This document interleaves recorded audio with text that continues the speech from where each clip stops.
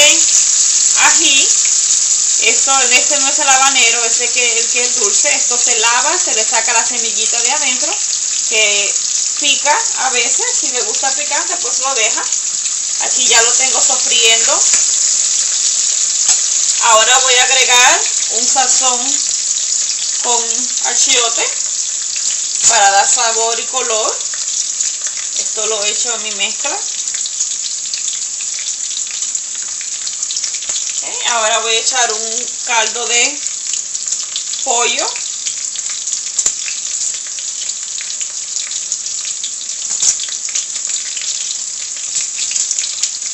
Si quiere lo puedo echar entero. A mí me gusta machucarlo para acelerar el proceso. Sí, con las manos limpias, por supuesto.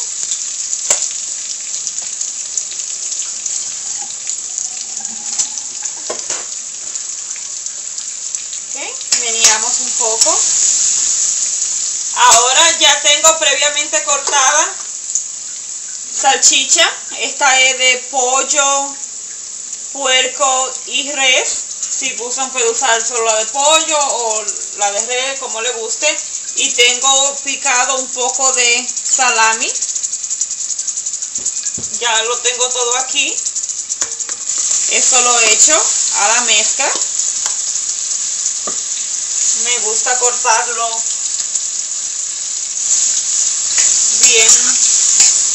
pequeño, cuadritos pequeños, pequeño a mediano. Esto sofreímos un poco.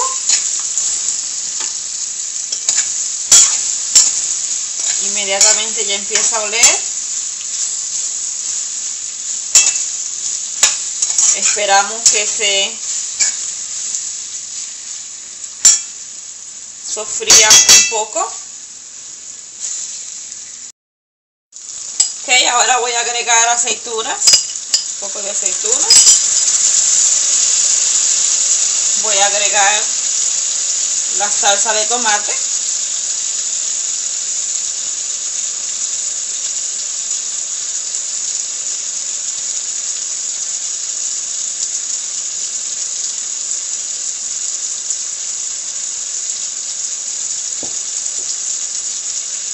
agregamos la salsa de tomate voy a agregar un poquitito de pimienta. Pimienta un poco. Voy a mover.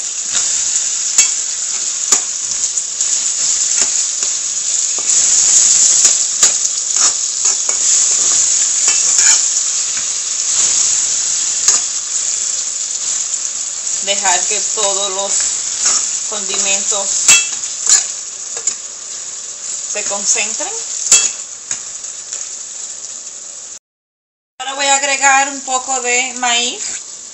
Esto tiene maíz, pimientos rojos y verde. Agrego esto.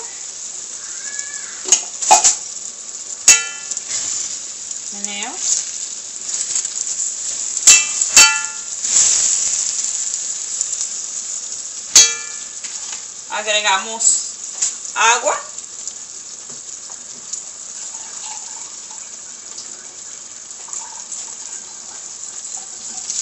Agregamos agua.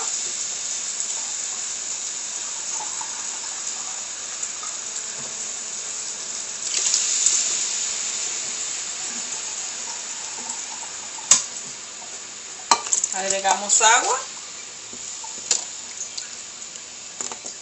Esperamos que hierva un poco. Ya, ya esto está hirviendo. Hora de agregar el arroz.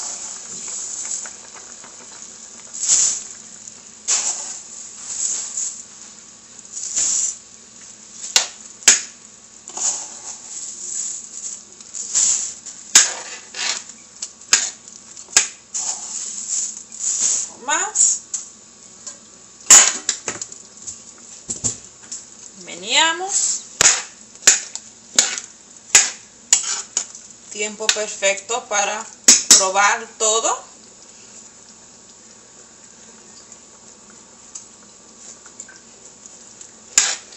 y ver si le falta un poco de sal o más pimienta. El mío está perfecto. Aquí ya puede ver todos los ingredientes juntos, integrados. Solo espera, esperar que seque y tapar. Ok, ya el arroz secó, ahora yo lo voy a agregar en cilantro. A mí me gusta agregárselo ya cuando voy a tapar el arroz. Considero que le da un mejor sabor.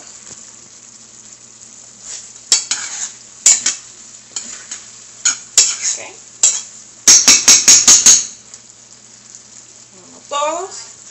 Bajamos la temperatura a mediano. Poco más de mediano. Tapamos. Y solo nos puede esperar que nuestro arroz se cosa completamente.